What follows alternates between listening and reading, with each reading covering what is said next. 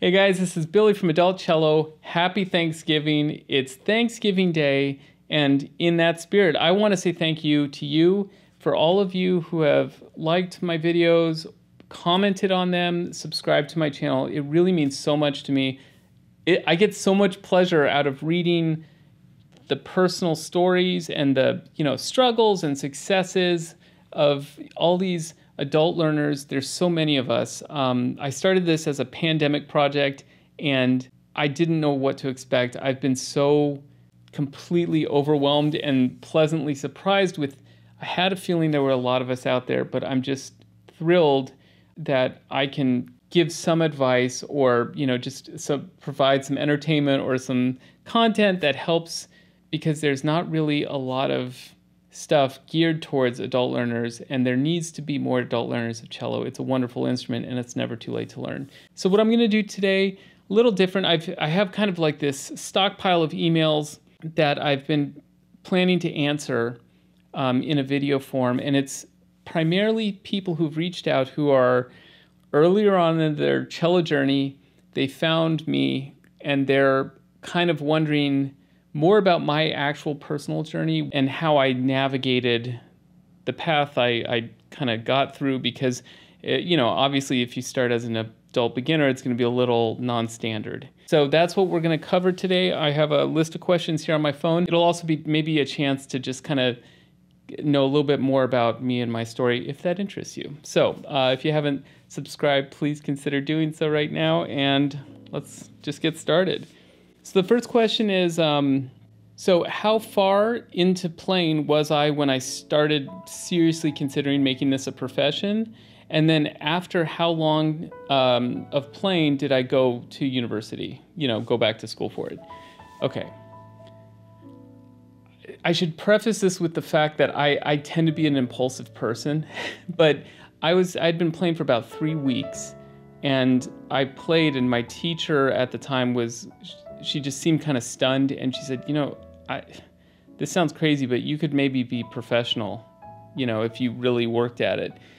That changed everything for me because that was almost like now I had permission to dream. Even within 3 weeks, I was pretty obsessed. I just I had already been consuming cello music on YouTube and reading and I was just totally obsessed with classical music and cello. And her saying that at the time I, I got very focused right away and I was just like, I can't believe it. This is amazing that I it's not like the door hasn't been shut on me.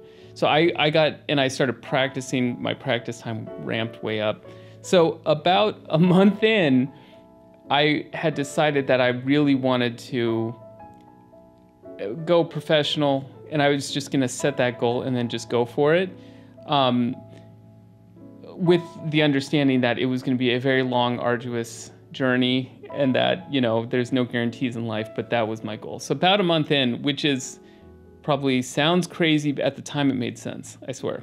Um, in terms of going back to school, okay, so let me just, I was taking private lessons and then I realized if I really want to be serious about this, I need to understand music fundamentals, I need to understand music theory.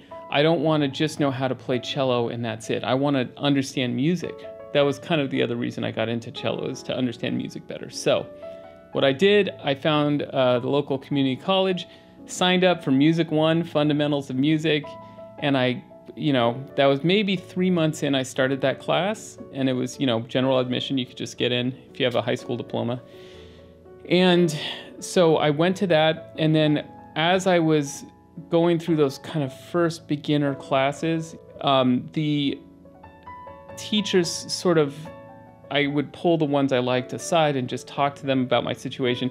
They mentioned there was an applied program, so I applied for that nine months into playing, and I got in because, uh, you know, obviously I told them that I've been playing for nine months. Otherwise, they would have been very shocked because I, you know, I'd been only playing nine months. It sounded like it. So I got in. So technically, about a year into playing cello, I was in junior college as a full-time student going through their applied music program. Um, it was like in terms of over your head, the great thing about that program was you join the orchestra and then the repertoire you know, I picked it with my teacher. So we just, it was basic, you know, it was junior college level, but I wasn't playing junior college level repertoire right away. But my growth, I just grew very quickly because I was just suddenly immersed into all these like small groups, like chamber music for fun, for performances, and then the orchestra. So that was a year in. I did two years there, and then I transferred over to uh, Cal State Northridge, um, and then I did two years there. Sounds like a prison sentence. It what didn't it wasn't like that at all. I did my time, two years, right? And then I graduated with a second bachelor's in cello. So it it happened kind of quick, but it was it seemed pretty organic because I reached out to teachers, and that's kind of how I figured out. Oh, there is a program I didn't even know what applied program was. Like you just, and then they talked to other faculty to like this kid is he's really obsessed with cello. He hasn't been playing long, but I think he would do well in this. So I, a lot of what I'm going to say today about my personal journey is making the most of opportunities and making opportunities happen and making them sort of exist in the first place. So, you know, with other kids who grow up playing an instrument and then they go to college for it there's kind of like a stream feel you know and you just you just hop into that stream and you get carried along because there's just this you know this whole track set up for you and you just advance along it and then you end up where you end up so with us, it's a little different. You have to, you know, reach out to people, not hound people, but you know, be persistent and figure out what you need and then how to go about getting it. All right, so here's another question. Was it good timing to study when you did, going back um, where, you know, what with the current level I was at? Um, and then with the economy, um, so I'm, I'm, guessing that means like the, the world economy.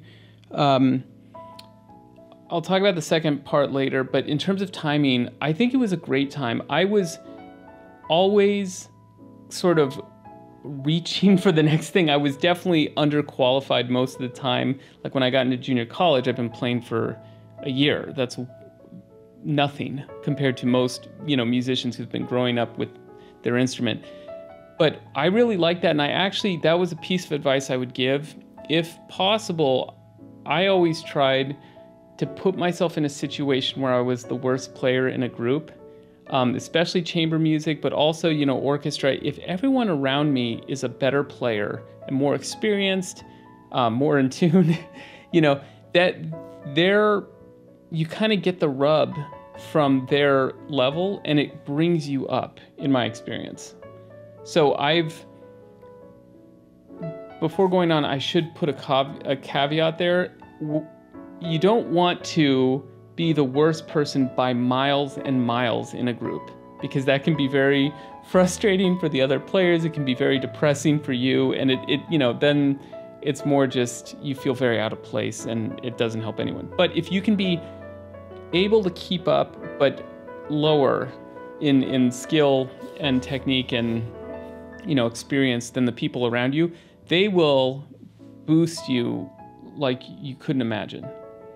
Okay, so th- the timing was perfect for getting into junior college and then getting in transferring to college. I had so much ground to make up, but that's what I was looking for. I needed, in my eyes, I needed a fast track to get going.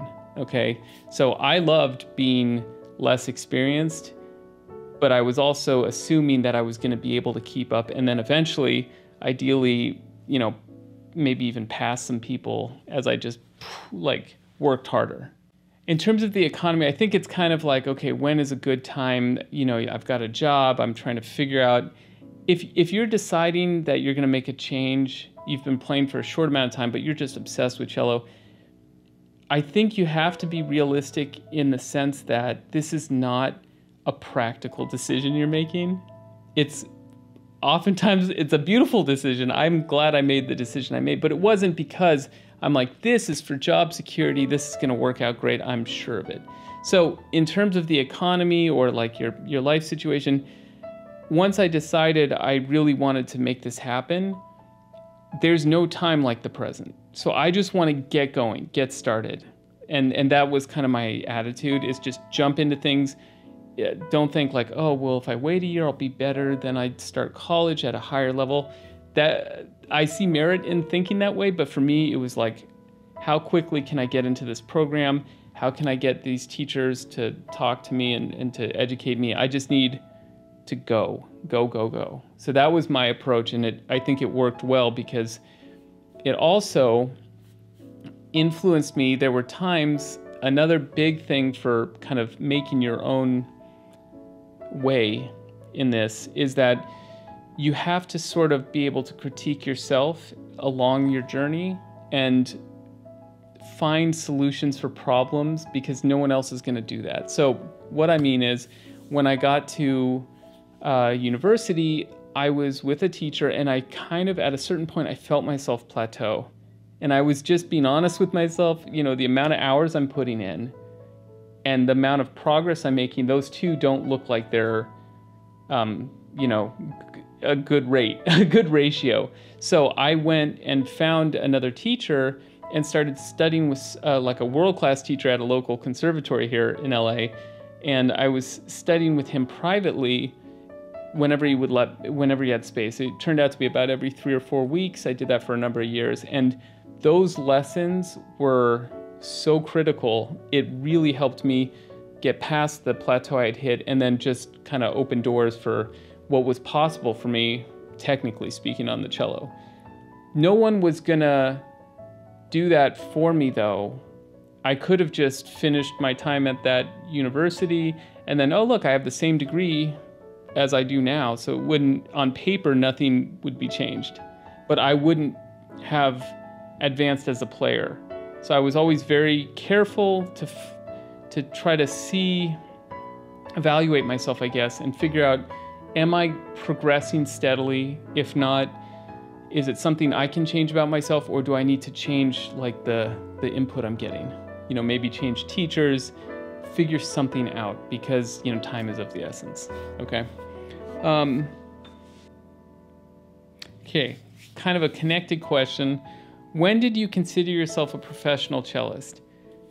This is a really good question and it to this day, it's still something that like brings up a little bit of awkwardness or discomfort just because it's such a loaded question to me uh, in this regard because as a musician you can make your living in so many different ways. And so i mean if you make all your money in playing cello for example and you live comfortably and you and everything's fine you're you're how could you not be a professional cellist? That doesn't necessarily always mean that you're a, a top level player that even though you're getting you're making all your money as a cellist. So there's kind of so many ways to look at what professional means. Um, there's the you know technical level. You know like i think basically if you're in a major orchestra and you have a tenured position, that's probably one of the easiest ways to say you're a professional cellist. Um, or if you're a soloist who's tour- touring around, yeah, you're that's, that's a professional cellist, almost every sense of the word. But there's lots of other players who, you know, uh, you might not be the greatest player, but you're an inspired teacher or you just you just have made you're really good at networking you get a lot of gigs. It's so it's kind of a weird world with a, a lot of sliding scales. Um, it's there's nothing black and white in my eyes about what a professional is.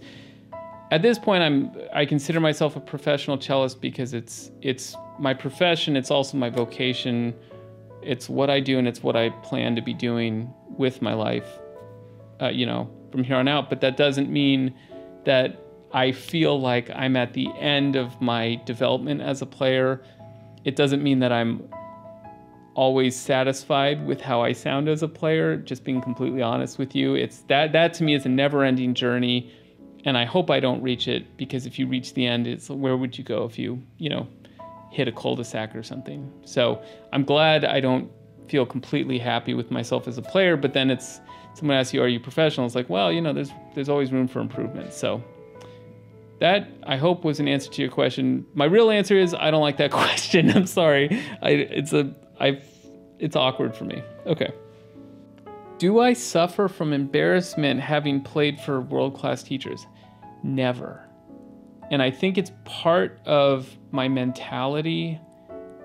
Um, part of it is just I have a general like shamelessness when I I just like diffuse things with humor, I think. But also when I went into a lesson I did. I will say I usually would make sure that the teacher, if they don't know who I am, then at least I at least give them a heads up. Like, okay, I've been playing three years, and I'm 28. So you you you're looking at a man, but you're about to hear a little boy come out of the cello. So be ready for like a dis, a discrepancy in what you're expecting. But other than that, I'm there to learn. And I think what impresses a teacher is not the level you start the lesson at, but once you play for them and they start giving you feedback, your ability to take it in, work with it, comprehend what they're saying, try to make adjustments on the spot, those are the things that will entice a teacher and impress them because, you know, it, Eh, wherever you're starting, if a teacher's like, oh, if I just this is a, a great plant. It just needs a lot of water. It's really dry and dehydrated and droopy. But if I just water this thing, it's going to flourish. That I think is really exciting to almost any kind of teacher, I would imagine. So that that's what I would focus on, and it also really takes a lot of pressure off because I, I'm sure the last student that came in, like when I was studying with that guy at the conservatory here in LA, uh, you know, the last student he heard, I'm sure was worlds past me. But if I could sound much better than the last time he heard me and he remembers where I was, you know, three weeks prior, that will impress him, regardless of the fact that the person who just played is twice my skill and half my age. Okay, so you just have to, it's the way you think about it that, that takes a lot of pressure off the situation. Okay, here's a question How did you plan going from like a, a, job, having a job, into cello playing and or a university degree. Uh, so I guess what I can talk about is I, I was doing freelance copy editing um, before I just became a full-time student and then a cellist. So that was nice because it was, you know, flexible schedule. So in terms of, you know, starting to make money as a cellist, uh, you know, becoming like a gigging player and all that, I think university is, if you go back to school, that is a such a great opportunity to basically say yes to everything and get as much experience as possible. So when I was at school, another great thing timing wise, there wasn't an abundance of cellists in the program at the time. And so every time students had, you know, final recital projects, all the composers had recitals and they would hire, you know, the students to play their pieces. I said yes to that. I started taking, you know, local uh, churches would, you know, sometimes find players from the school. So anytime they asked, I, I started playing some church gigs. I was doing, you know, kind of amateur recording sessions for for composers who were graduating. Anything I could get my hands on, essentially, because I knew that aside from getting technically proficient, there's also then the whole kind of blue collar gigging life that you you don't want to show up to a gig and oh yeah, this is the first time I've done anything like this.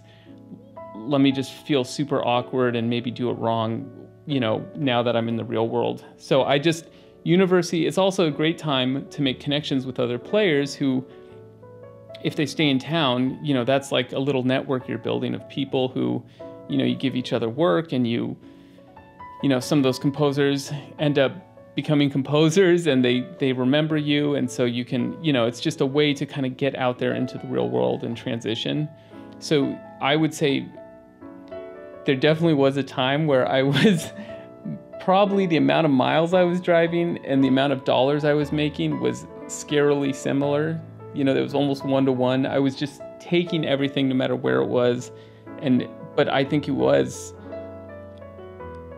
very tiring and very necessary because I had experience I needed to log before I, you know, kind of graduate and then you're just in the real world hopefully getting called to do stuff. Okay? Um would I have done anything differently? I'm going to save that for a later question. So we'll come right back to that. And I also, I, I should say that I, another thing I was incredi- incredibly fortunate about is, you know, I've lived my whole life in LA and I did my studying in LA. And this is a city that just is kind of teeming with music and musical work at all these different echelons, all the way from like Hollywood you know, uh, union musicians who play on the, you know, the movie tracks from, you know, Marvel videos, all that kind of stuff, all the way down to little church gigs. It's just teeming with work. So if you live in an area that's not, you know, quite as busy and robust in that sense, you have to you're going to have to think about that and think what, you know, what is available? How can I possibly make connections? And you know get whatever work start getting some of the work that's available. Um, okay here's a here's an interesting question now. This is so now i guess we're switching more to like post after your studies. I get the impression most income from cellists is from teaching um, and then playing gigs is it does it pay as well as it's worth in terms of the effort? And is it something that you do for personal preference or is it like do you just try to find what's most satisfying? So there you know to make it as a musician there's routes you can go. I think a lot of people most people end up doing a little bit of a multitude of things and a lot of one thing you know? So someone who plays in the la Phil might also be a teacher on the side to advanced students or something, even though they're a full time orchestra and one of the best paying orchestras, um, you know, in the nation, they still would probably do some teaching, also maybe some recording sessions. So I think most people do a, a little bit of everything. Teaching, let's just talk in a very general way. Teaching is very steady if you get a good studio of students and that's great because you can sort of you rely on the steady income. Um, gigs pay better than teaching generally, but unless you, you know, make sure that you always are, you always have work, um, then the problem with that with gigs is that you are waiting for them to happen and you're waiting sometimes for the phone to ring and if it doesn't ring even if it's better paying you don't have work okay so i think what my advice would be is to think about what would make you most happy. Some people are just natural teachers. They they love teaching. Some people see it as like a, a, a pretty big chore to have to teach, and so they would much rather just be playing gigs. Um, so each each of these little mini categories is going to have a different skill set set of skills that is important. So if you wanted to do, say, recording, knowing your scales, knowing your arpeggios, knowing the fingerboard and all the patterns, and then becoming very good at sight reading, those are huge. Those are so important, okay? Because you obviously, well, it's not obvious maybe. In a lot of recording situations, you don't get the music ahead of time, so you just have to see it they press record and then you just play and it has to be correct. So it's very high pressure.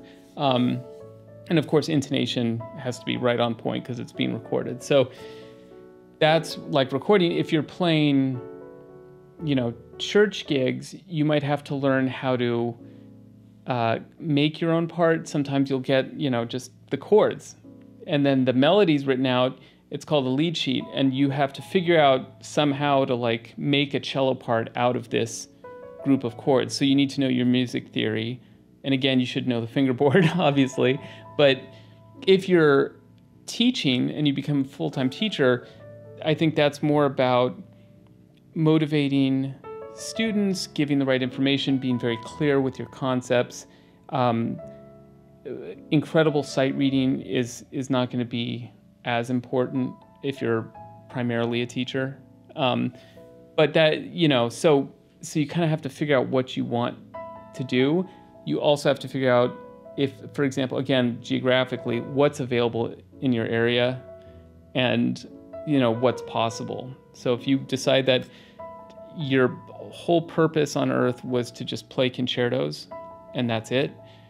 You can practice them and get them amazing, and then that would be a very tough way to make a career income wise as a cellist because now you have to find orchestras who uh, want to hire you to play concertos you know? So it's i think there's you have to be practical to a certain extent but i think you know if you're picking something as impractical as cello you should definitely figure out what would make you happy and just go for that and then be ready to do other things as well all right, so here's kind of a fun one. Uh, what do I play on now at my instrument? And when did I get my first grade instrument? So, my first grade instrument that was kind of professional level, I got. I'd been playing for a couple years, and uh, it was expensive. So my, you know, I had my parents. They were willing to help me, um, you know, make up the the difference of what I was able to do. Uh, what I play on now is a great cello. It was made in 2018 by a guy named David Foland. Uh, he's in Minnesota. It's a just it's a fantastic instrument. I really really enjoy playing on it. Um, and then uh, bow wise, my main bow is a French bow by a guy named Claude Thomassin, and uh, again, it's it's a fantastic bow, and in terms of when, if in terms of giving advice, uh, what I would say is, it is, it helps. It, it there's no question that a better equipment is going to help you sound better, and it might, in a lot of cases, it makes cello playing easier to do. It helps with, you know, some of the technical stuff you have to do. As soon as possible, if you get serious about this, the better your equipment is. Um, not always the more expensive it is, but the better it is, uh, then you you know it just raises the ceiling on what's possible. It inspires you to reach for you know better sound.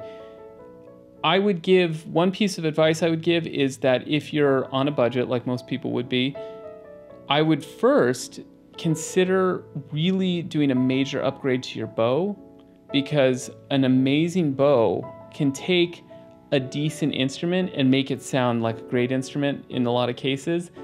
An amazing instrument with not such a great bow, you, it can make it sound like a, a, an okay, like a pretty good instrument, but not as good as it could be.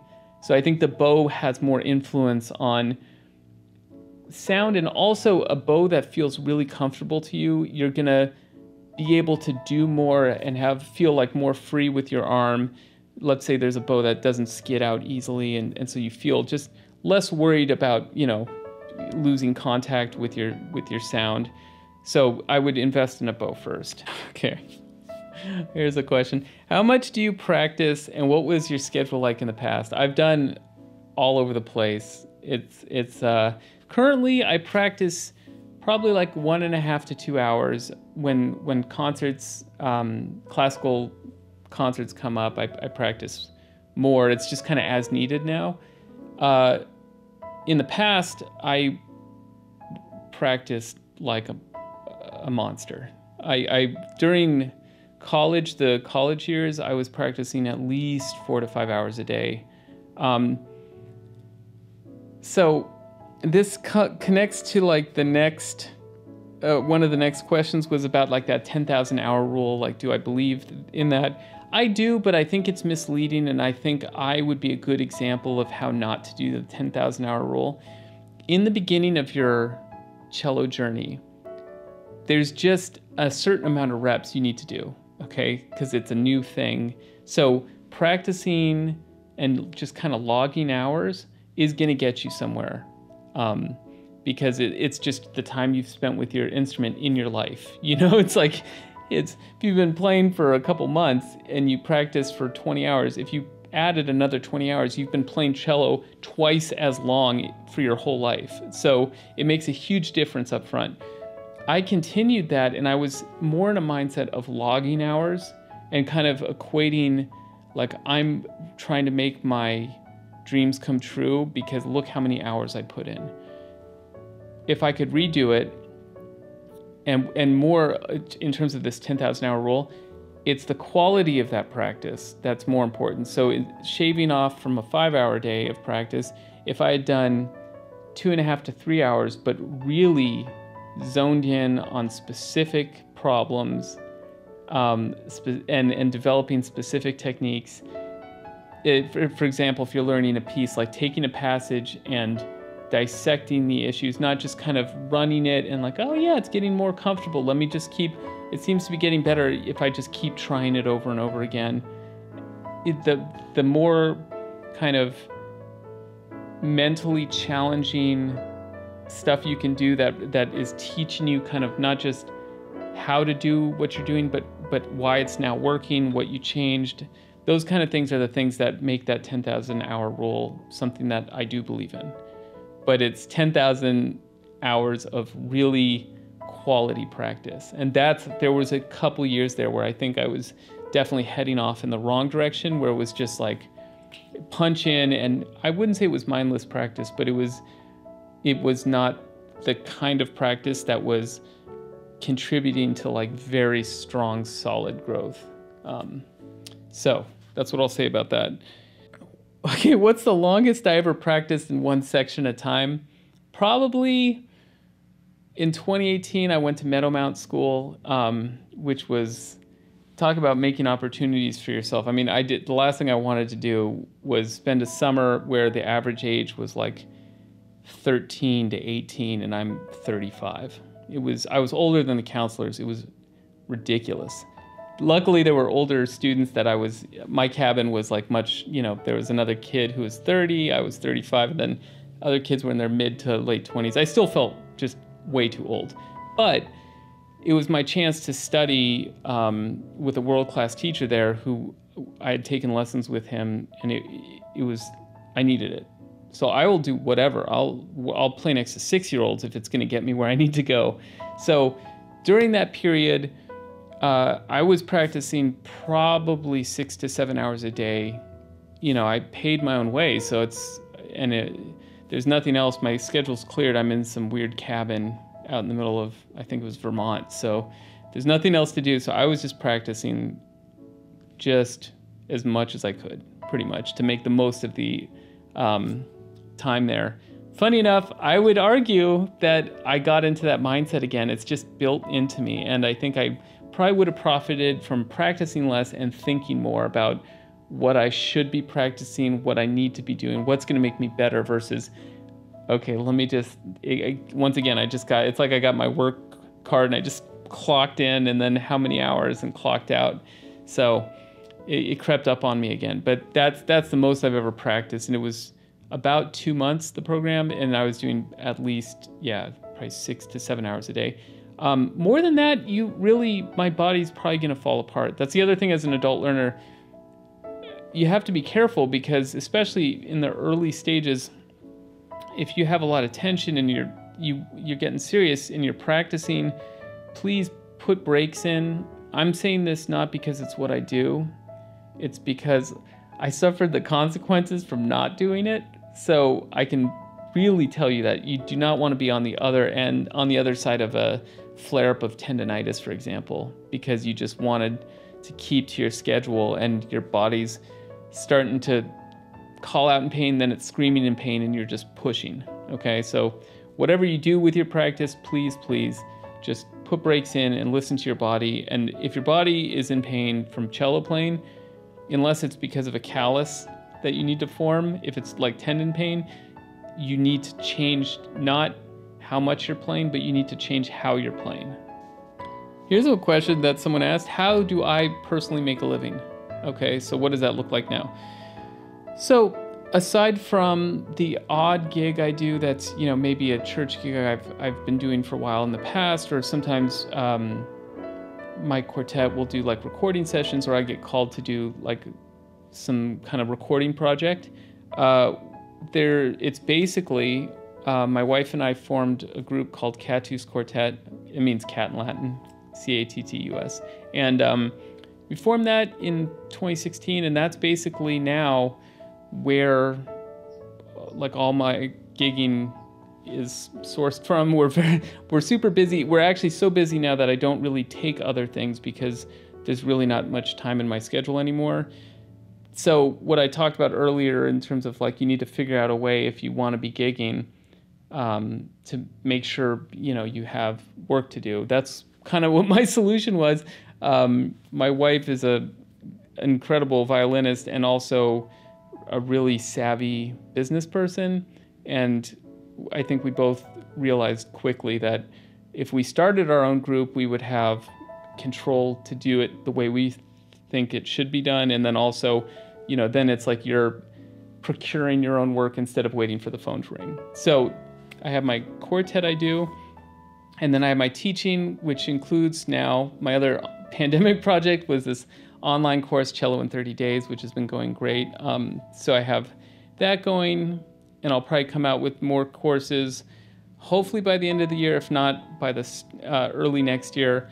And then I have my private teaching studio. And between all that and plus these uh, YouTube videos, I'm a very busy person, but I really enjoy everything I'm doing. So it's worth it. Okay. Okay, here's a great question. How many teachers have you had?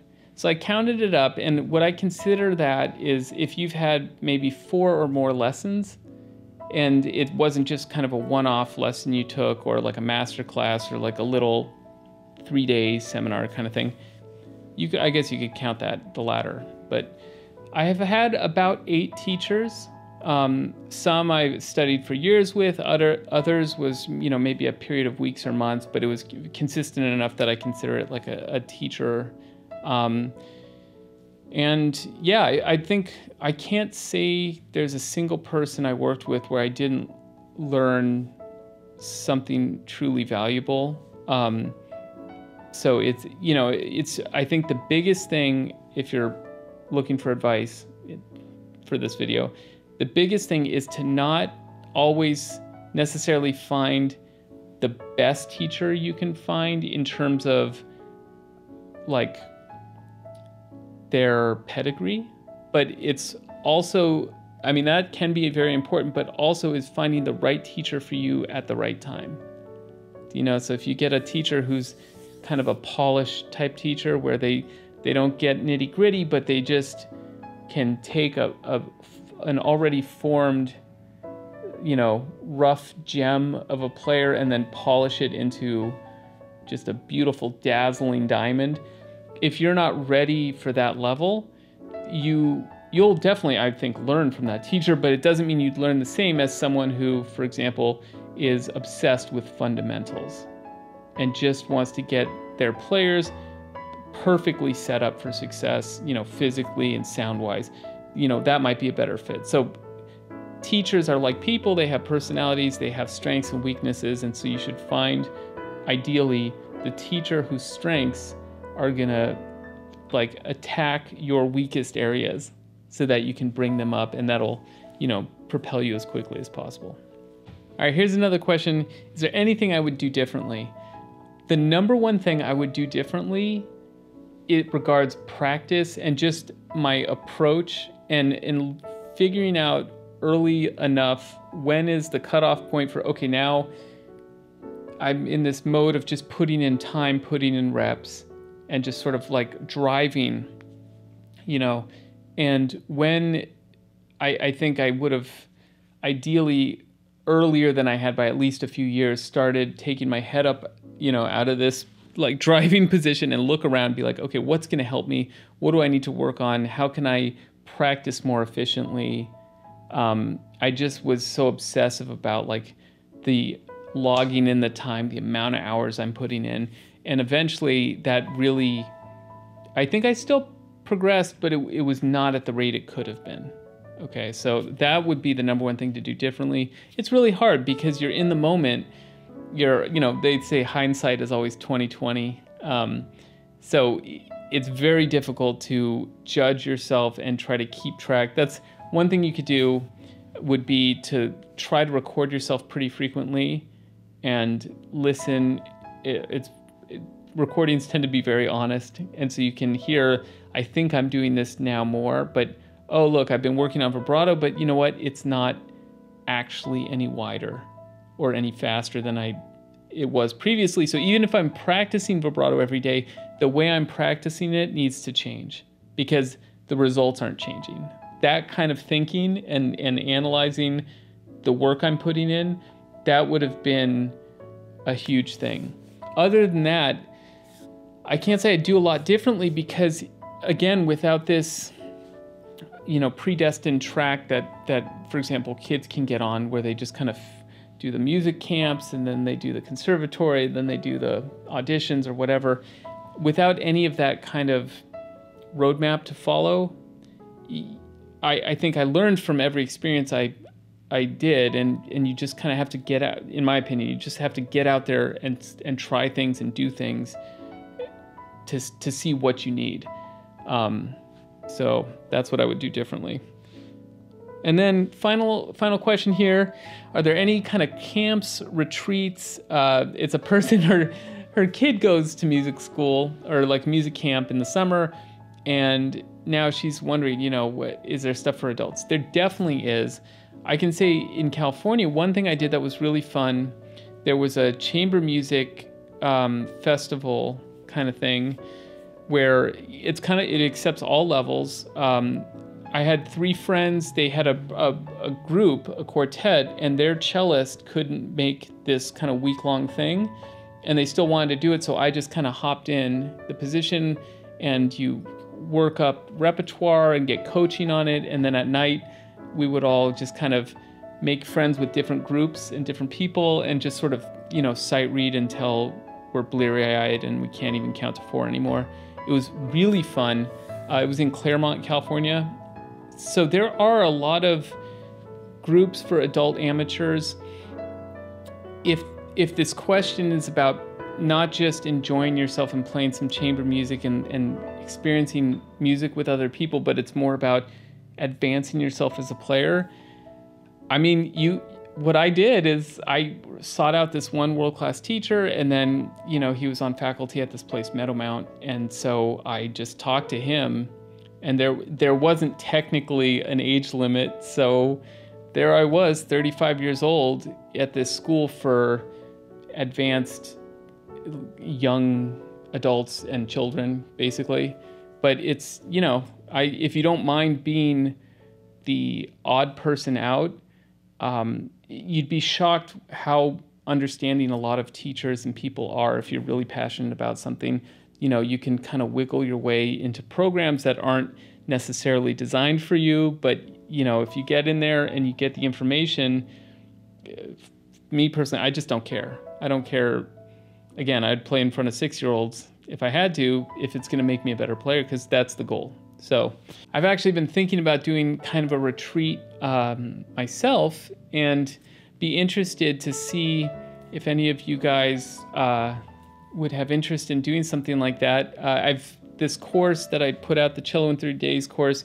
I've now got this robust group of students who have uh, enrolled and have gone through it, and I think it would be so fun to just get a big group of adult cellists uh, who are learning, you know, in maybe in the earlier stages, and you just go to a location and we would just all learn from each other in group settings like masterclass settings and then also private lessons. But just it's amazing how having people kind of doing the same thing that we're all in the same boat that kind of feeling putting yourself in a group like that you it's amazing how much you learn from each other and you know something you thought wasn't even possible for a player your age let's say you're in your 60s and you're like well, I can't expect to be able to do this. And then you see the person next to you just do it. You know, oh my God, you just shifted that. How, how did you do that? You know, and you just try it and you're like, oh, I can do it. You know, so it's a lot of those kind of cool moments happen when you get in a group. So, um, yeah, let me know if you'd be interested in a retreat like experience for kind of a cello camp for adults. So there you go. That's kind of a little bit about myself and hopefully some helpful information for those of you who are trying to figure out how to get from where you are to where you want to be in a in a serious way. Please subscribe if you haven't done so already and happy Thanksgiving.